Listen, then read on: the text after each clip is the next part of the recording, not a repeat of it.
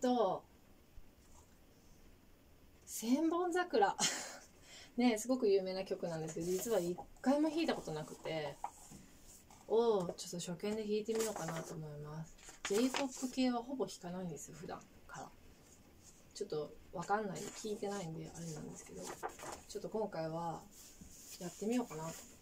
ねすっきりした楽譜。これはね極上のピアノっていうのを好きの好きであこれ上級って書いてある。上級選んじゃった。弾けるかな？ちょっと音は抜かすかもしれないけど。はい。早いんだよねこれ確か。へえなんとなくタタタタタタだよね。サビの部分なんとなくわかるけどそこにたどり着くまでがよくわかんないんだよね。ちょっと弾いてみよう本当に。えー、C フラット1個。4分の4拍子。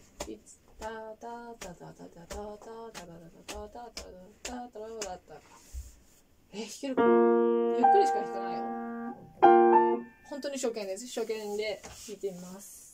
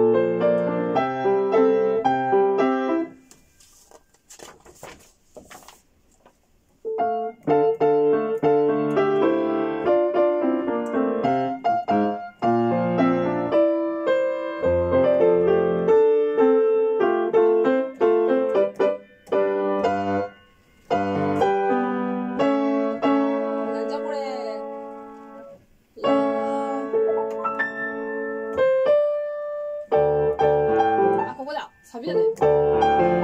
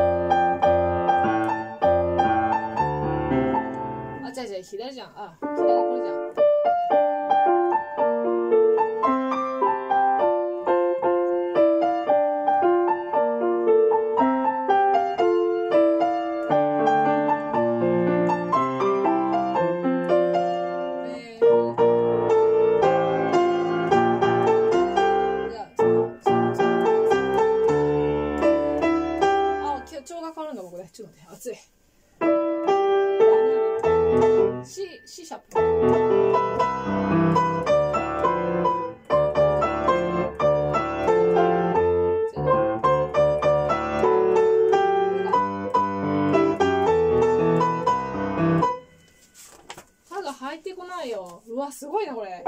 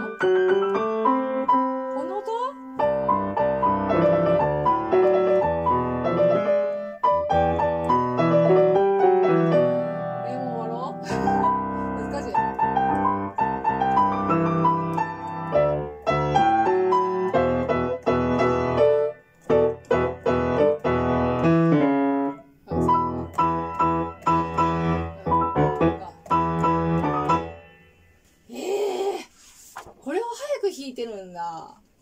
ああなるほどね。なるほど。これ。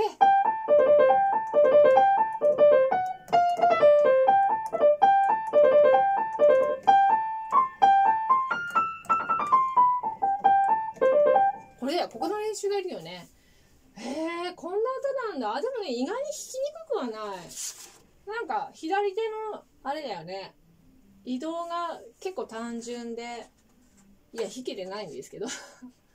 オクターブが出てくるとかっこいいよね。うん。